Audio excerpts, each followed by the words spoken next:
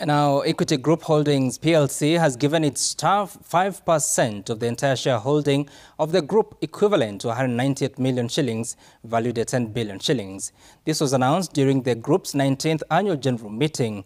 The employee share ownership program seeks to align the interests of the staff uh, to the long-term interest of the shareholders attract superior talent and global skills from global multinationals and drive a strong performance culture and an open reward system to incentivize the staff. The group also approved a record dividend payout of uh, 15.1 billion shillings at a rate of 4 shillings per share an increase of 33% over the previous year's payout.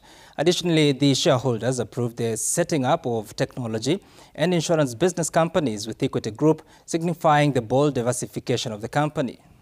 Best global practices uh, of attracting, retaining, and developing uh, talent we have proposed to the board which have accepted and has propo uh, proposed to put um, the request to the shareholders for the establishment of an employee share uh, ownership program uh, simply called ESOP.